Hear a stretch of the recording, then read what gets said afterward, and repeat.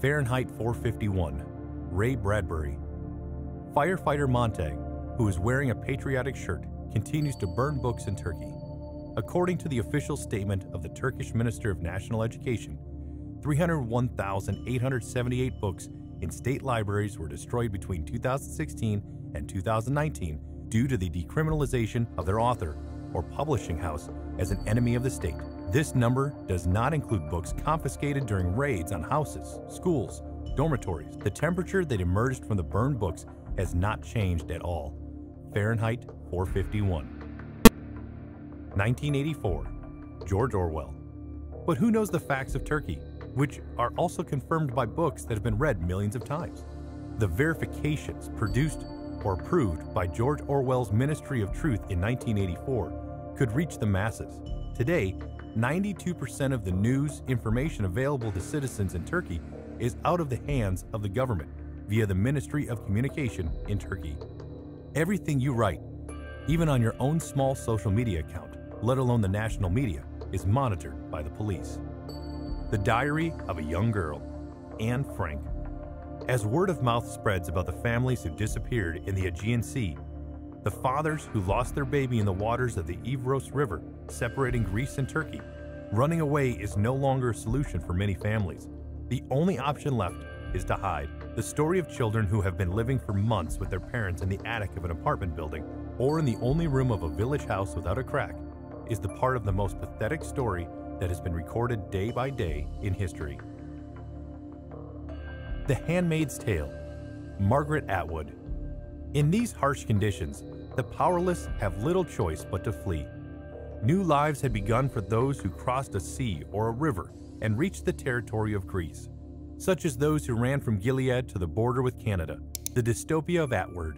However, what was waiting for those who stayed behind was the fatwas issued by the new regime's faithful clerics shouting in the squares The wives, daughters, and property of these traitors are all yours. The tradition of demonstrating the power of fiction or real totalitarian regimes by reacting on the female body had not changed. The Gulag Archipelago, Alexander Solzhenitsyn. Solzhenitsyn wrote about how totalitarian regimes tried to convert people they labeled objectionable in concentration camps in the Gulag Archipelago, but he could not think of a plan by the Turkish government to collect people they labeled as terrorists in camps even after death. The Traitors Cemetery. Death and the Dervish. Mesa Selimovic. There were those who sacrificed their sons, brothers, nephews, and their closest neighbors to the regime they worshipped.